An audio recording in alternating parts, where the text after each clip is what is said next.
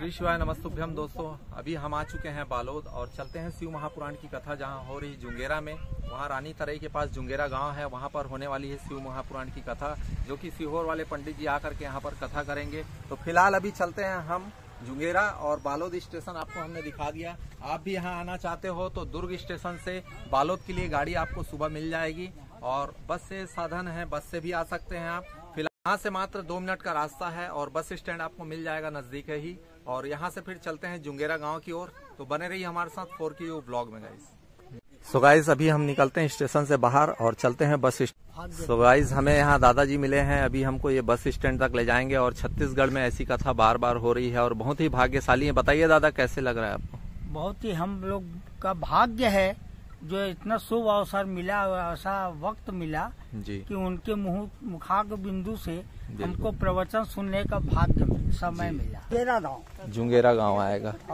यहाँ से लगभग कितना किलोमीटर होगा वो? यहाँ से तीन किलोमीटर है। मात्र तीन किलोमीटर। तीन किलोमीटर। तो बस वाले की सवारी में मतलब लगभग दस बीस रूपए लेगा? नहीं नहीं नहीं तीन रूपए पाँच रूपए लेगा। पाँच रूपए लेगा। चलो बहुत बढ़िया बताया आपने। शिव की जो महिमा मिलती है ना खास लोगों को मिलती है। आज उनकी प्रेरणा है भाई बहुत बड़ी। बिल्कुल। शिव भक्ति में लीन कर दिए सभी मंदिर जो सुना हो गया था। हाँ हाँ। आज उनकी देन है प्रेरणा है। बिल्कुल। हर मंदिर में आज दीपक जल रहा है पूजा पाठ हो रहा है। जगह जगह। तो फ़िलहाल यहाँ पर रोड पे आ चुके हैं और देख सकते हैं बसें चल रही हैं। और ये लगभग स्टेशन से मात्र 500 मीटर की दूरी पर है। और ये बस हमारी लग गई गाइस तो दादाजी चलते हैं। हाँ हाँ हाँ धन्यवाद। श्री शिवाय नमस्तुभ्यम। तो फ़िलहाल अभी बस में बैठ गए हैं और ये अभी जुंगेरा के लिए हम निकल चुके हैं। यहाँ से लगभग तीन किलोमीटर का ये सफ़र है।